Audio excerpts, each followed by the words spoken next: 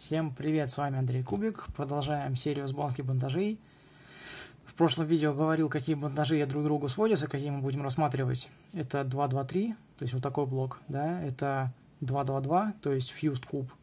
Это 122, который сводится, соответственно, надо собрать, вот, собственно говоря, fused куб второй, да, чтобы свести это к 223. А, будет 123, вот такой, и будет 113. Между прочим, между прочим, вот этот бандаж, который Mirror Siams, который 1.1.3, да, в прошлом видео говорил, вот этот блок 1.1.3, бывают бандажи, тоже мирроры, очень интересные, Mirror Tower. У меня, к сожалению, ее есть, и картинку показать даже не могу. А, суть в том, что у него склеены вот эти две полоски. То есть не просто 1.1.3, а 1.2.3. И выглядит это очень красиво, потому что как бы вот конструкции такие тоже очень замысловато выглядят. Вот. И есть еще очень интересный бандаж, тоже Siams. Это когда склеены вот эти два. Да еще, по-моему, и еще один блок. То есть там, грубо говоря, вот здесь один куб, вот здесь один куб, вот здесь один куб. И вот эти кубы, они э, с одним блоком, а вот этот бандаж, он с двумя блоками. То есть это выглядело бы вот как вот этот 2-2-3, да еще там 1-1-3 палка, например. Вот, не так просто это собрать, как оказалось.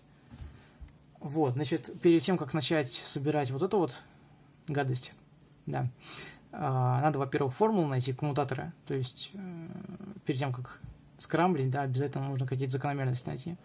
А, но еще перед этим хочу сказать о видах методов сборки. Значит, их я разделяю три вида. Первый вид это послоевой, то есть когда, ну, Фридрих, собственно говоря, да, первые два слоя интуитивно можно собрать, там, FTL, а третий слой уже либо коммутаторы, либо OLL, PLL, либо, ну, либо skip, короче, формулы. Вот, есть, соответственно, методы на количество ходов, то есть КХ, приближение, приближение к алгоритму Бога. Значит, э, они собираются поблочно, то есть собирается блок 1-2, потом 1, 2, 2, потом 2, 2, 2, собственно говоря, о чем мы сегодня... А, нет, сегодня 2, 2, 3. Да, собирается fused куб, и потом остаются вот эти вот три плоскости. Раз, два, три.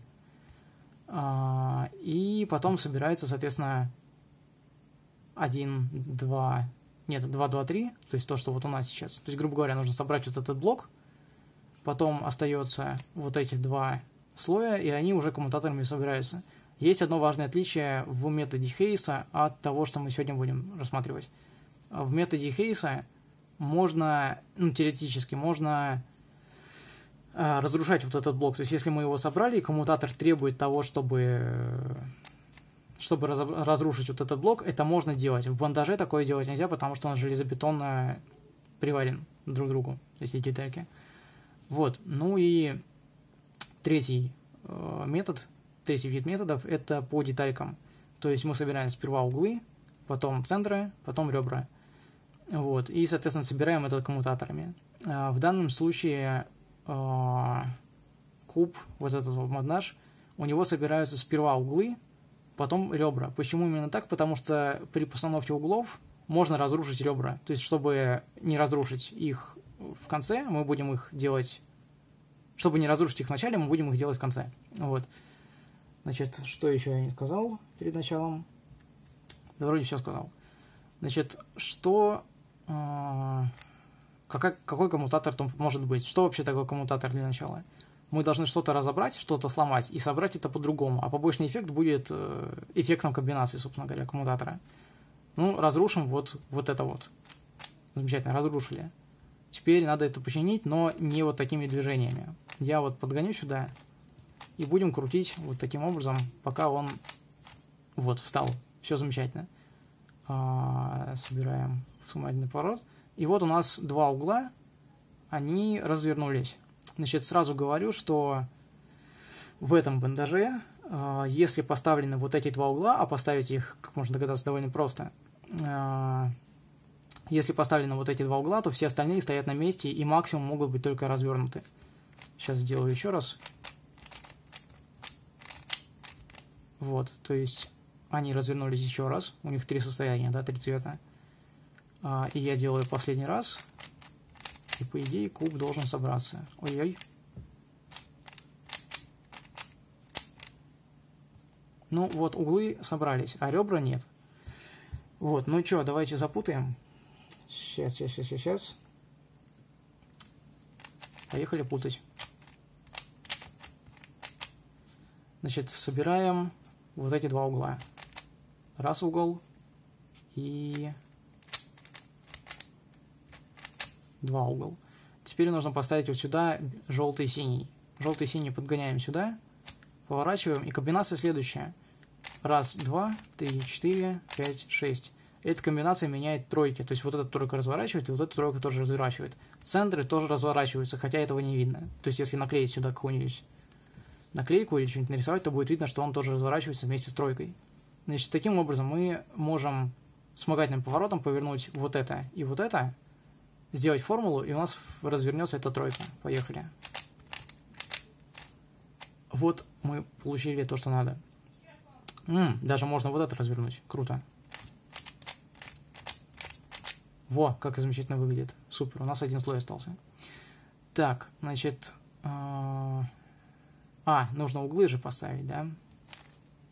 Значит, у нас развернуты все. Ну и поехали крутить. Пив-пав на двух слоях. Так, что произошло? Кто-то починился, да? Починился вот этот. Ага. Так, я, пожалуй, сделаю вот так. То есть разворачивать будем вот эти два угла. Поехали. Так. Вот они развернулись, замечательно. И осталось вот эти два угла. Их, наверное, надо будет делать в обратную сторону. Сейчас рискнем. Нет, не получится. Не получится. Разрушится сейчас. Потому что я не сделал поворот вот с нижнего слоя. Ладно, сделаем обратно. Так, и просто развернем их два раза. Вот раз. Вот они раз повернулись. И, соответственно, второй раз. Формулу несложно же вывести, да? Вот. И теперь у нас, о, замечательно, превосходно, у нас э, осталось ровно три боковушки.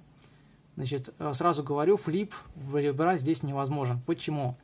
Потому что есть такая красивая э, аналогия, чтобы вот есть у нас кубик, да, чтобы его развернуть вот так, да, нам нужно три плоскости. То есть нужно сделать вот так, вот так, э, то есть вот мы его повернули, и вот теперь он в другой ориентации. То есть красный был сверху, желтый был там. То есть вот желтый мы повернули. Вот, то есть нужно три плоскости, и здесь у нас только две плоскости. Здесь у нас только две плоскости. Раз, два. То есть, грубо говоря, вот ладонь, да, мы можем, чтобы перевернуть ладонь, вот так, нам нужно раз, и нужно обязательно вот вторая плоскость вот туда. То есть э, невозможно, если вот у нас только два два состояния, которые мы можем использовать, два слоя, то развернуть, как бы перевернуть тут невозможно. Поэтому э, ребра здесь не меняются, не флипаются. То есть надо их просто поставить на места. Значит, вот они, три ребра. Мы будем использовать буфером. Буфером будет вот это. То есть мы развернем вот так, выполним комбинацию, да, у нас развернется вот это.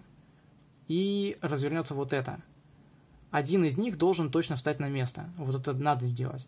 Когда он встанет на место, мы заменим его на третий элемент. И буфер развернем еще раз, он станет на место, а углы, э, а боковушки соберутся. Значит, показываю, как это происходит. Вот этот угол ставим вот сюда. Раз, два, три, четыре. Надо запомнить. Значит, первый ход туда, второй ход туда. УР, да, запомнил. Поехали. УР, вот так. Значит, а, нет, вот, вот он буфер, да, вот он буфер, замечательно. И теперь мы просто вот это вот ребро подгоняем вот сюда. Раз, два, три. Значит, у штрих R, да, будет. Поехали. Раз, два, три, четыре, пять, шесть. У штрих R. Так, интересно. Что-то не захотел вставать. Сейчас, сейчас, решим. Значит, давайте я тогда сделаю Раз, два, три, четыре. Сейчас это будет UR, да, надо будет возвращать. UR. Так, буфер у нас... Где у нас буфер-то? Так, сейчас попробуем еще раз. Значит, вот у нас три боковушки. Значит, я сделаю буфер вот этот и переверну. Красный встанет на место. И после этого вот на это место надо будет подогнать вот эту, правильно? Значит, делаем. Делаем. Теперь вот это встало на место. И надо вот этот подогнать вот сюда, правильно? Раз, два, три. R и U, да? R, а, R и U. И U.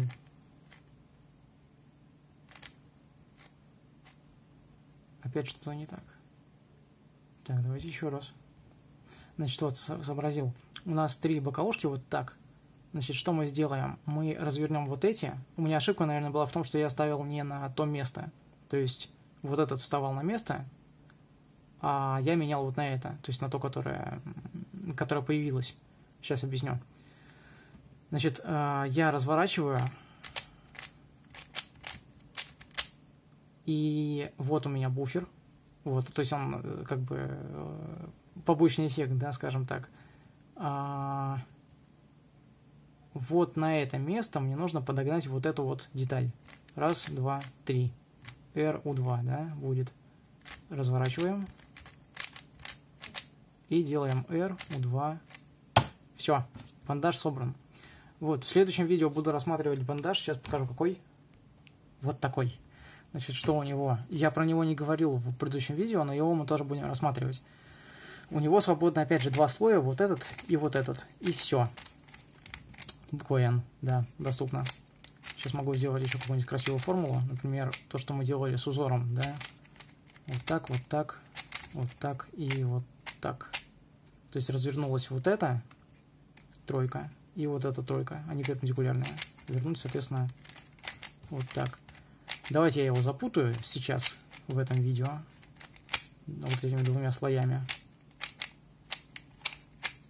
Вот, заметьте, что углы не меняются, потому что здесь как бы даже не две плоскости, да, а одна. То есть переворачивать-то некуда. И они даже не меняются местами из-за этого. Они всегда одинаковые. Поэтому сразу можно установить их на свои места. А дальше, ну, понятно, центра совместить. А вот дальше с ребрами начинается веселуха. И это будет в следующем видео. Так что подписывайтесь на канал, ставьте уведомлялки. Всем пока!